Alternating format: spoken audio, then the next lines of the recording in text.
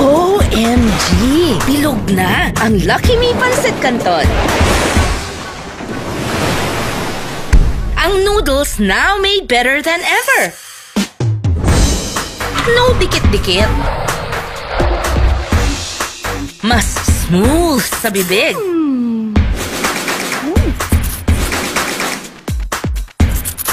Hmm. Try na ang level up ng Lucky Me Pancit Canton.